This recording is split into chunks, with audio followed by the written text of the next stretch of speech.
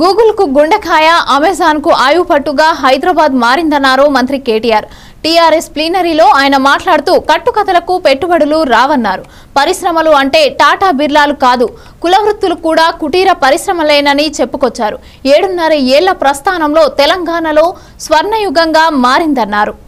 అధ్యక్షులు రాష్ట్ర ముఖ్యమంత్రి తిరిగి ఈరోజు తొమ్మిదవసారి మన పార్టీ అధ్యక్షుడిగా ఏకగ్రీవంగా ఎన్నికైన పెద్దలు కేసీఆర్ గారికి మనందరి తరఫున హృదయపూర్వకంగా కరతాల ధ్వనులతో అభినందనలు తెలియజేస్తూ గౌరవనీయులైన పార్టీ సెక్రటరీ జనరల్ గారు కేశవరావు గారు గౌరవనీయులైన సహచర మంత్రివర్యులు సహచర శాసనసభ్యులు గౌరవ పార్లమెంట్ సభ్యులు గౌరవనీయులైన శాసన మండలి సభ్యులు రాష్ట్ర వ్యాప్తంగా విచ్చేసిన మా టీఆర్ఎస్ తోబుట్టువులందరికీ పేరు పేరున హృదయపూర్వకంగా నమస్కారం.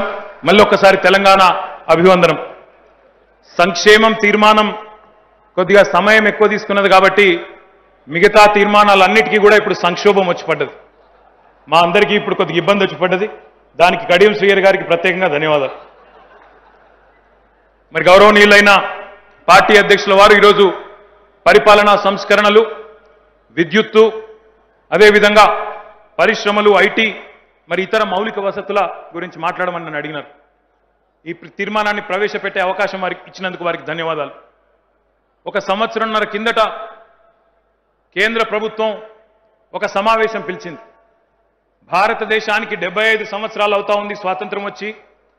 మరి డెబ్బై ఐదు సంవత్సరాలు నిండుతున్న సందర్భంగా స్వతంత్ర భారతావనికి ఏ రకమైన కార్యక్రమాలు చేస్తే ఒక నయా భారత్ను ఒక నవ భారతాన్ని నిర్మించవచ్చో సూచనలు ఇవ్వండి అంటూ వివిధ రాజకీయ పార్టీల అధ్యక్షుల్ని ఆ కార్యక్రమానికి గౌరవ ప్రధానమంత్రి గారు ఆహ్వానించినారు.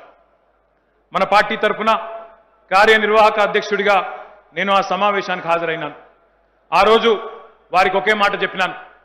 సార్ ఈరోజు తెలంగాణలో మేము చేస్తున్న కార్యక్రమాలు తెలంగాణలో మా గౌరవ ముఖ్యమంత్రి గారి నాయకత్వంలో ఒక త్రీ ఐ మంత్ర నడుస్తున్నది.